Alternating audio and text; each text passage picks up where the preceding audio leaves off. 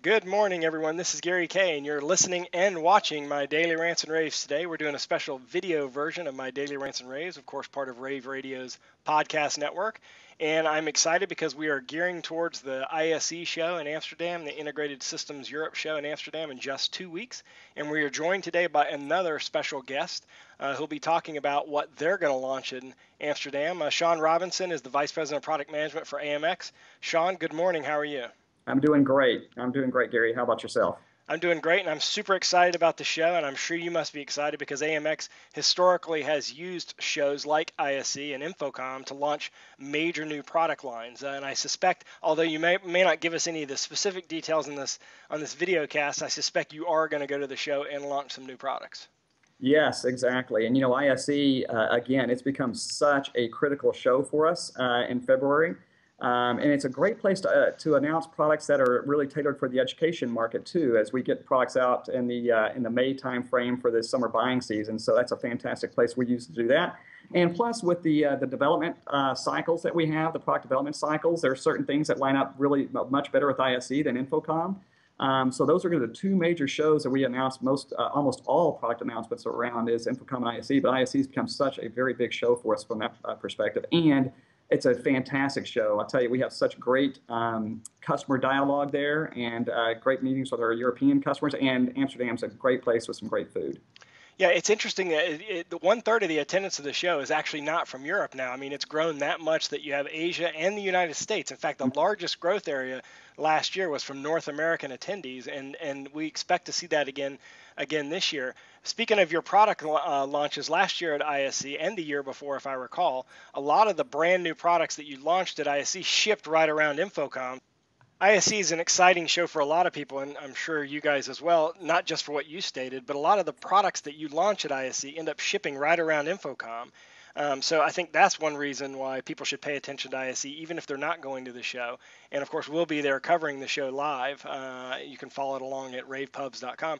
But but in addition to that, as you mentioned, uh, the European attendees, there's attendees from all over the world there. Approximately a third of the attendees of the show, um, maybe even higher this year, are going to come from Asia and the United States, with the U.S. and, and North America, I should say, uh, representing the largest growth of the show last year. Right, exactly, exactly. No, it's an excellent opportunity. We have some fantastic dialogue with customers from around the world there. Um, and we really, really enjoy being able to use that as a launch pad for, like you said, a lot of new products will be shipping in the InfoComm timeframe. So, so, so can I ask you about a couple of product categories? How's that? Sure. Well, yeah. I, obviously, a big product category everybody's paying attention to right now is sort of the digital media switching part because now it's sort of like a hybrid of all the analog ports and digital ports, then all of it goes out through HDBaseT or possibly through the network, depending on which which uh, type of product you're using. Uh, mm-hmm. Can we expect to see some new products along that product category? Yes, definitely. As you know, we've had our digital media solution, uh, our Enova product line out to market uh, for two years now. And so during that time period, we've been taking in a tremendous amount of requests, uh, feature requests from our customers, and really working with our customers to determine what's the best way to apply those feature requests. And so uh, you can expect some of those announcements at the ISE around that area. Um, and then also, of course, um, you know, 4K is the uh, hot uh, term right now and a significant trend we're seeing. So you can expect some some announcements in that area too. So your your picture has frozen, but everybody's still listening to this podcast, and and you'll you'll come back. Uh, everybody's still watching. There you go. You, are back live now. So we're going to kind of keep going. Uh, hey, now how about um, the BYO? I mean, another product carrier that's very popular right now is B, what, what's kind of loosely sort of referred to as BYOD, uh, mm-hmm. but basically the the huddle room slash uh, simplification of system distribution where you're sending all your signals through a wireless network. Uh, can we expect something new in that product line of yours? Definitely. Um, the what you've seen from AMX over the last two years is a real renewed focus on the smaller spaces. As you know, with your history uh, and in the industry, AMX has been a big player in the larger spaces for many, many years. But we've had a really renewed focus on more cost-effective solutions for the huddle space and the smaller conference rooms and classrooms Part of that is, you know, the wired connectivity solutions with our Hydraport line mm-hmm. and the retractors and things like that. You'll be seeing some areas. You'll be seeing some uh, some announcements in that area, but also in the wireless uh, uh, wireless portfolio with the Enzo product line. Uh, again, bringing out the MirrorOp technology and working with MirrorOp to enable some additional features. I've been getting some tr- fantastic traction on that product, and uh, so you can expect to see some uh, there also And in the booth, you'll see, just like we did last year at ISE, uh, you know, everything broken up into solution areas where we'll be demonstrating the huddle space solution versus the, the classroom lecture theater solution versus the, the, the more formal conference room solution there. So we'll have a, a great platform for demonstration of the, uh, of the new technologies we're bringing to market. And, and, you'll take advantage, from what I understand, of the the Harman uh, group, uh, and you're you're you're obviously now owned by Harman, by mm-hmm. showing uh, systems that include Harman products as well, because they've got some great uh, respected lines. I mean JBL, and I mean they've got a, a, host of audio. You're you're sort of representing the switching and video side, right? right. Harman? Exactly. Exactly. Yeah. This is going to be the first show at ISE where we have a combined uh, floor space, right? And so um, with that, our Jeff Kindig, our, our VP of Marketing, has done all the design work uh, for the booth and worked very closely with our Harman Pro um, uh, other business units to really have a nice, nice, nice layout ISE. So you'll see when you come into the AMX area, the solution layout, and then we'll then we have the product areas, but then we'll also have some really fantastic areas for the other Harman Pro business units. Um, and it, it's going to be a great opportunity for us to meet a lot of the other guys that uh, we've not had dialogue with so far, but it's really going to have a really neat um, market um, uh, message there because what we're doing here, and again, we're only about you know eight months in, so you're not going to see a tremendous amount. You'll see some, but not super deep technology integration. But that's that's coming, and so this is going to be the first show we're going to kind of highlight how these things are going to start to fit together. But as we go into InfoComm and other shows after this, you'll start seeing some deeper integration. We're really excited about. Yeah, and you're actually when you walk in the show floor, you immediately go to the right, and you're in Hall One, and I believe it's one F. Is that correct? Or yeah, what, what? yeah, F six. But F6. As, as, soon as you walk in, take that right, you run right into us, and uh, we're just going to go much deeper than we did last year because we have the combined uh, Harman floor space with us too. Right. And and uh, and what about new products? Like, are you going to surprise anybody at ISE with a completely new category of products, or, or, or will we mostly see um, improvements and new versions of the current categories of products? You're going to see, uh, you know, a lot of improvements and enhancements. You will see a new product category from AMX. Um, it's going to be shipping around the InfoComm timeframe. We are going to announce at ISE though. And again, any any hints? You can't give me any hints at all give you a hint. It's really tying into this, you know, significant trend that we're seeing. This transition to to web conferencing away from the traditional codec uh, type of thing. So you saw us last year uh, introduce the Sereno video conferencing camera targeted at the huddle space. There's another accessory that um, we're bringing to market to help facilitate uh, a better uh, experience in those in those type of web conferencing environments. Yeah, and the, and the, nice thing about that product line that you have is it's compatible with everybody's systems. It's exactly. it's not it's not proprietary, and you, and for that matter, you don't actually have to use a control system. I mean, basically, it's it's plug and play with everybody's systems. That's a exactly. it's a good product line, and it's and, been. yeah, and that this what we're talking about here, same type of thing. It will be you, you could use it with our product line, or you can just use it as a standalone uh, accessory to really facilitate a great web conferencing uh, uh, scenario. Well, since I've got a product manager on the on the on the line here, I, I, do have to ask this question. You may not answer the question, but I do have to ask it. What is your plan, or have you made any public announcement about your plan with integrating HiQNet? HiQNet. So um, let me let me. I'll tell you what, Gary. If, if uh, I can, uh, I'll definitely go into that discussion with you and and uh, be very transparent.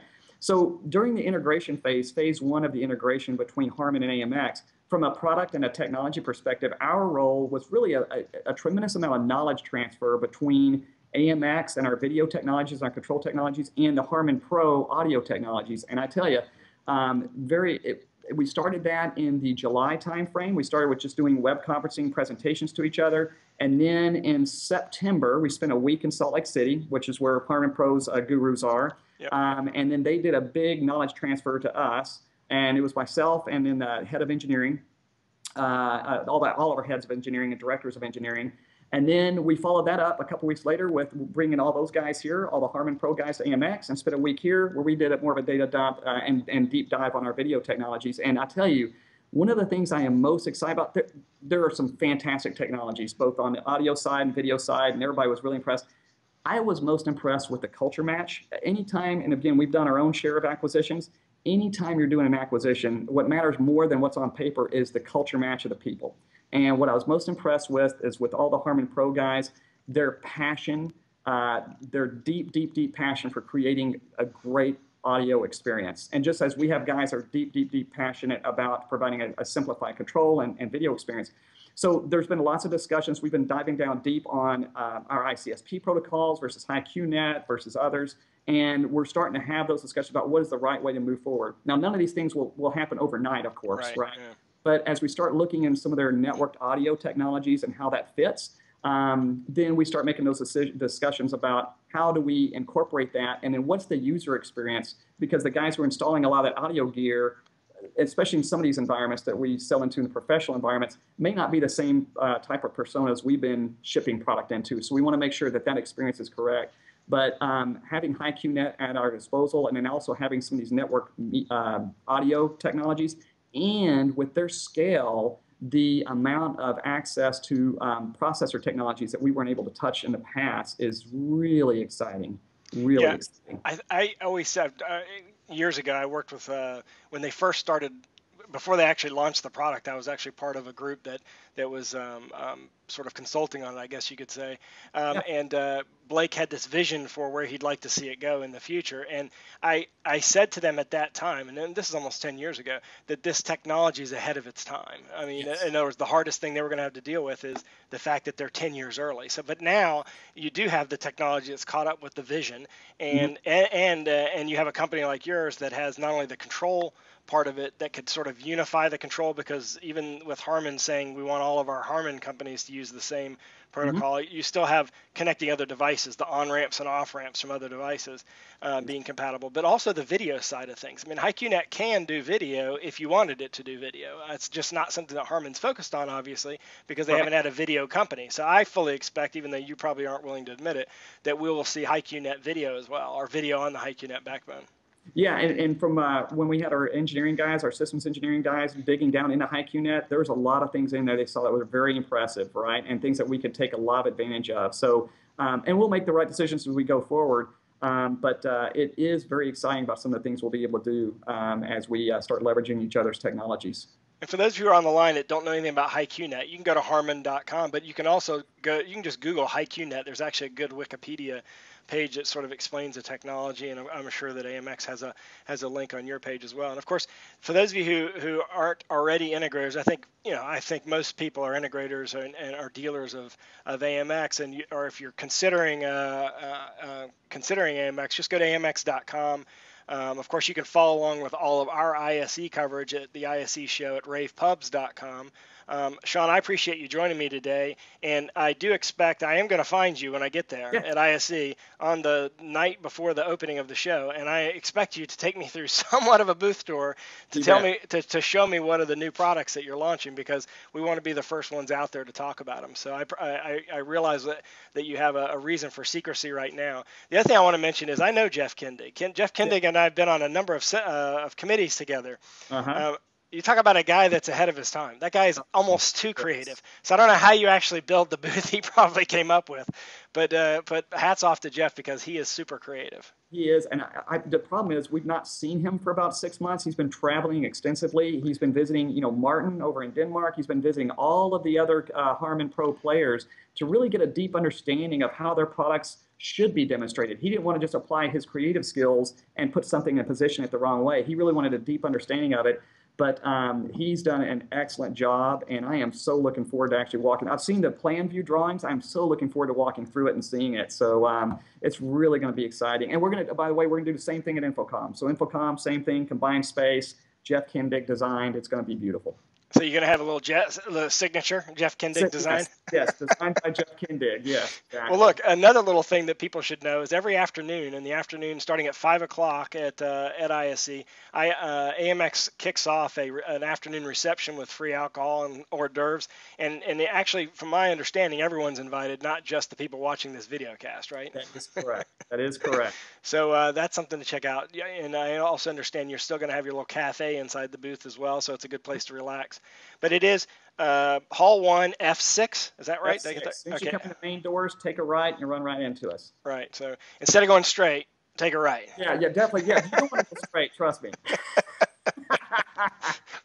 no comment. no, but I get it. But uh, yeah. but in any case, uh, we've been talking to Shaun Robinson. uh, connect with him on uh, on LinkedIn. It's S H A U N Robinson R O B I N S O N. Check him out at ISE uh, Vice President of Product Manager at AMX. And uh, Shaun, I know you're busy. I'll see you in two weeks. And uh, you, you have now made a promise. So two weeks from tonight, I'm going to be in your booth, in your stand, expecting a, a, tour of those new products. You got it. You All got right. it. My pleasure. Right. Thank you very much. You have a good evening, and uh, thank you for joining me. Thank you, Gary.